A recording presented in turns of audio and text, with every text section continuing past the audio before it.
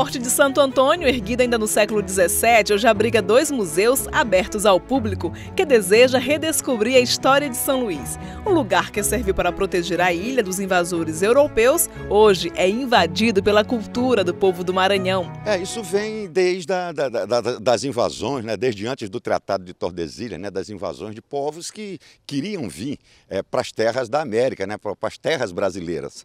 Então ele tem realmente esse papel é, para, em uma batalha que no caso nunca foi registrada, nenhuma batalha aqui, o forte estivesse é, é, pronto para enfrentar, mas também, por sermos ilha, como te falei, nós temos aqui, é, nós estamos entre duas baías, né? a Baía de São Marcos e a Baía de São José.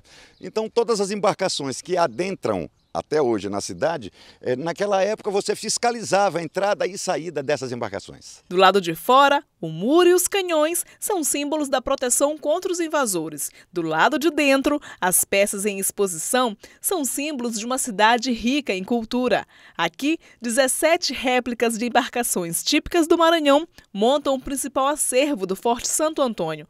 São peças produzidas por carpinteiros navais do estaleiro Escola. Outra exposição permanente é o Museu de Imagem e Som, uma sala de projeção com vídeos sobre a cultura maranhense e uma pequena amostra de antigos equipamentos de audiovisual, como máquinas fotográficas e projetores. Este turista, que mora em São Paulo, está de férias com a mãe em São Luís e veio conhecer o forte. Ah, eu achei muito interessante. É um museu que está bem conservado e tem os atrativos que deixam a gente feliz em visitar.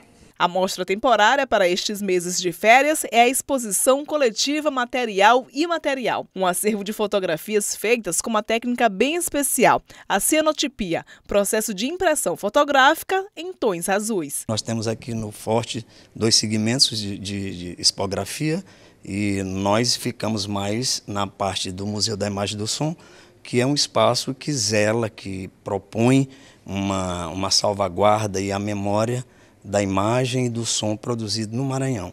Então são várias exposições que a gente acolhe durante o ano e nós estamos em cartaz com uma material e material, que é uma exposição coletiva dos alunos da Universidade Federal do Maranhão de Artes Visuais, coordenada pelo professor Pablo, e nós temos a primeira mostra de cianotipia, né, e num, de, em vários painéis inspirados em emoções, em sentimentos e em técnica. Eu estou aqui com a Rafaela Paiva, Rafa, que é mediadora aqui do museu e vai explicar um pouquinho para a gente como é que funciona essa técnica que deu inspiração para a exposição que está em cartaz aqui no Forte Santo Antônio.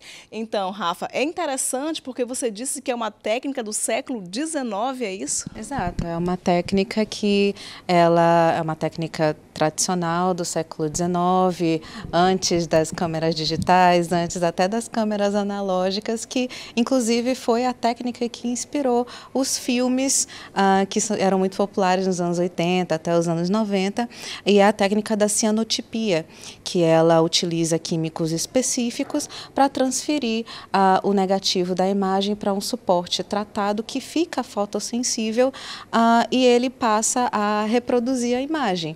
Ele ele passa por esses dois químicos aqui uh, e ele passa a ser esse negativo bem aqui que a gente está vendo que a gente está vendo, e ele depois é colocado na mesa de luz com o suporte tratado e, no fim das contas, ele passa para o positivo, que pode ser um suporte tanto uh, em papel, quanto em tecido, quanto em qualquer uh, outro material que a gente está vendo aqui. Tem vários exemplos de materiais que podem ser uh, utilizados para colocar como suporte das fotografias e eles acabam tendo essa, essa configuração bem tradicional, bem mais especial e bem mais uh, diferente das técnicas uh, mais uh, massificadas de reprodução fotográfica. Agora, o interessante é porque mexe com o imaginário, porque vem da história, é uma coisa antiga que mistura com o moderno, porque hoje quem é que não gosta de fotografia de se ver, né, Rafa? Exatamente, só que é aquela coisa, né? Hoje em dia, as redes sociais e a hiperdigitalização ah, fizeram com que essas técnicas fossem perdidas com o tempo, fossem esquecidas com o tempo, e o objetivo do, dessa exposição, que provém do projeto de extensão da Universidade Federal do Maranhão, do curso de Artes Visuais, ah, provém as, é, tem como objetivo meio que essa essa retomada desse, dessa tradicionalidade, dessa coisa artística especial, quase como se fosse uma pintura mesmo, só que em forma de fotografia.